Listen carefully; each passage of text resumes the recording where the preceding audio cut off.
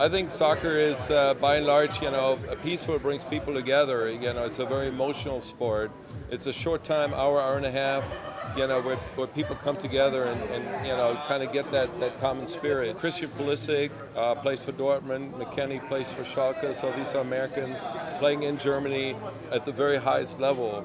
So it just shows you know, how the countries at that level, at the sports level, also function together well. Borussia Dortmund traveled to the Midwest last year. They played in Soldier Field for the first time in their club history. We organized um, a, a, tailgate event at Soldier Field with barbecue. Lars Ricken came and uh, hung out with us. So it was a great uh, time, and a lot of people showed up for the event, so it was good. We're trying to attract more Americans to it. Uh, we usually meet at a soccer pub here in Chicago. All the Bundesliga games are on TV now, so it's, it's easier to follow.